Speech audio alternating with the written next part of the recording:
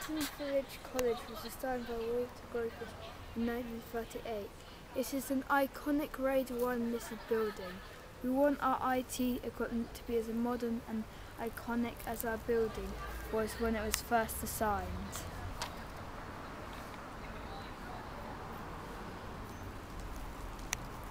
When I'm standing, it um, sometimes the on work, and um, sometimes the pen um,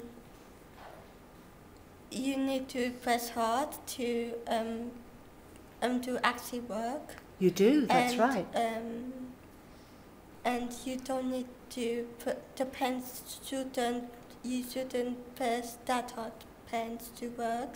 They it should work straight away. Uh, how far away it is. Shall I speed it up to bring it back to you?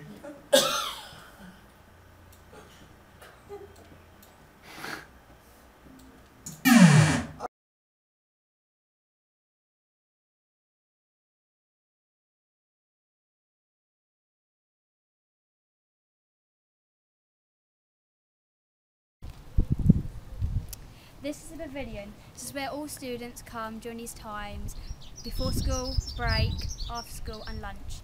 And it would be nice if we got the board. That means any student, including special needs students, can use it during these times. And I'm a special needs student myself and I come here a lot. I do my lessons, break time, before school, after school sometimes, during these hours. About the graphics, they're very like hazy and you can't read properly.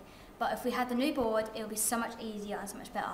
You can actually like read and write properly. And like for people who like me, I have like issues with not getting my vocabulary right. It'd be so much easier if I can read it, so much easier, so much better. That's all I've got to say. Brilliant. And it's very hard to um, read the font size because of like all the marks on the board. Whereas this board it's much easier to read. Right, our board is just old, just like our teacher. What was that board?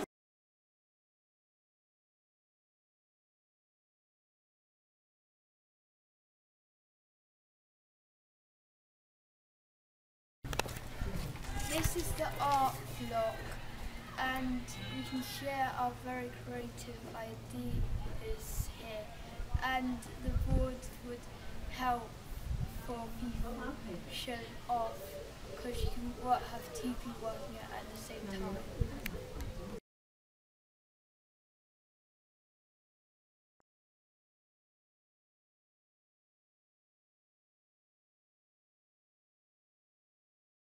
When, if we win the board, the board is going to go there or over there.